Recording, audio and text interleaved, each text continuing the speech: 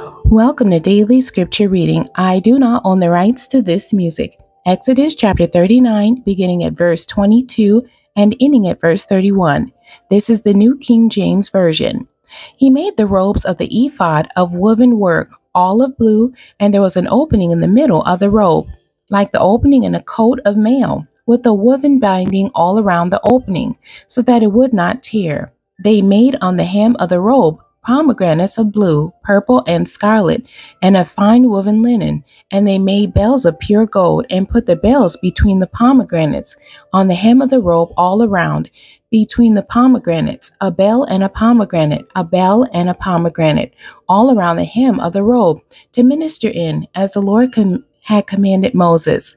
They made tunics artistically woven of fine linen, for Aaron and his sons, a turban of fine linen, exquisite hats of fine linen, short trousers of fine woven linen, and a sash of fine woven linen with blue, purple, and scarlet thread, made by a weaver, as the Lord had commanded Moses. Then they made the plate of the holy crown of pure gold, and wrote on it an inscription like the engraving of a signet Holiness to the Lord.